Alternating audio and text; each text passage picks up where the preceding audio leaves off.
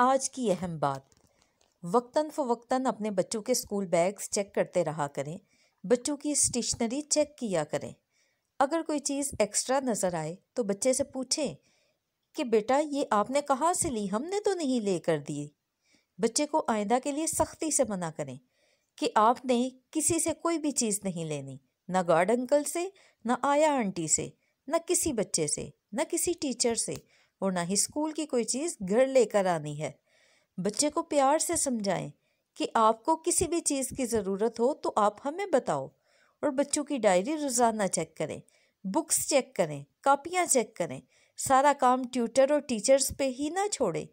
Teachers और tutor तो सिर्फ़ अच्छा पढ़ाकर हमारे बच्चों को क्लास में पोजीशन होल्डर्स बनाने की भरपूर कोशिश करते हैं, जबकि हमें साथ साथ अपने बच्चों की तरबियत भी करनी है और इस माशरे में अपने बच्चे को पोजीशन होल्डर भी बनाना है। और बच्चों को दिफा करना सिखाएँ, मुकाबला करना सिखाएँ। इस बात का ये मतलब बिल्कुल नहीं है कि आप अपने बच्चे को बदतमीज़ी सिखाएँ, बल्कि मतलब ये है कि जब कोई बच्चा आपके बच्चे से लड़ाई झगड़ा करे तो आपके बच्चे को जवाबन कार्रवाई करनी आती हो। बच्चे को ये बात अच्छी तरह समझाएँ कि स्कूल में कहीं भी किसी के साथ तन्हाई में नहीं बैठना, खा कोई भी हो। जहाँ सब बैठे हों, वहीं बैठो। बच्चों की तन्हाई शैतानी अफ़ाल को जन्म देती है और बच्चों को गुड टच और बैड टच के बारे में भी बताएँ। हर वक्त बच्चे को नसीहतें करना भी गलत बात है। बच्चे नसीहतों से तंग आ जाते हैं। कभी कभार बच्चों को एंटरटेन करने के लिए अपने मोबाइल पे, अपनी निगरानी में अच्छी वीडियोस अच्छे कार्टून इस्लामी बातें और आर्ट एंड क्राफ्ट वगैरह दिखाएँ। मोबाइल का इसलिए कहा क्योंकि इंटरनेट का दौर है तो बच्चे मोबाइल में ज़्यादा दिलचस्पी लेते हैं। वैसे, हम वालदेन को चाहिए कि हमेशा अपने मोबाइल में अच्छी चीज़ें ही सर्च करें, गलत चीज़ों और फहश वीडियो से अपने मोबाइल को पाक रखें, ताकि कभी आपका मोबाइल बच्चे के हाथ लग भी जाए तो आपको किसी भी किस्म की परेशानी का सामना ना हो। एक बहुत अहम बात, बच्चे का लंच कभी भी बाद में मत भिजवाएँ। बच्चे को इस चीज़ की आदत ही मत डालें जो भी देना हो बच्चे को सुबह स्कूल जाते वक्त साथ ही दें। हम माएँ बच्चों के जाने के बाद पीछे से लंच बेच रही होती हैं। बच्चे को क्या मालूम? कौन क्या देकर चला जाए? बच्चों के लंच बॉक्स में हमेशा खाने की चीज़ें थोड़ी ज़्यादा डालें और बच्चे को बताएँ कि ये लंच आधा आपका, आधा आपके फ्रेंड्स का।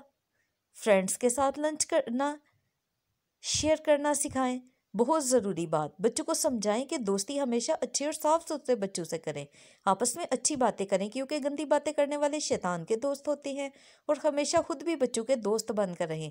हर बात बच्चों से पूछें, बच्चे को अतमाद में ले ताकि वो हर बात आपसे दोस्ताना अंदाज में करे।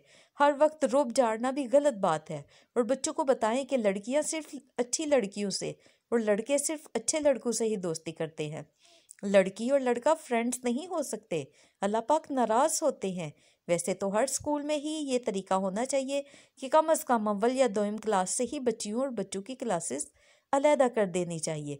कुछ लोग कहते हैं कि बच्चे हैं, फिर क्या हुआ? बच्चे हैं, इसलिए तो ज़्यादा एहतियात करनी चाहिए।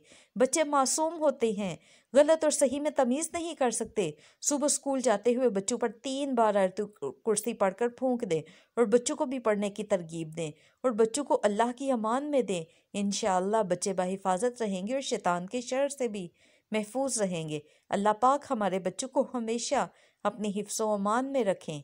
आमीन। दुआओं में याद रखें। शुक्रिया।